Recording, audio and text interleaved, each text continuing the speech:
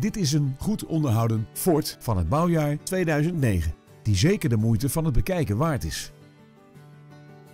De krachtige dieselmotor van deze auto is gekoppeld aan een handgeschakelde 6-versnellingsbak. In het sportieve interieur is het prettig toeven dankzij cruise control, een regensensor en een elektrisch verstelbare bestuurdersstoel. Deze auto is bovendien uitgerust met een trekhaak, lichtmetalen velgen en metallic lak. Op de lange lijst van extra's vinden we bovendien elektronische remkrachtverdeling, automatische dimlichten en ASR. Hebben we u nieuwsgierig gemaakt? Bel ons nu voor een proefrit.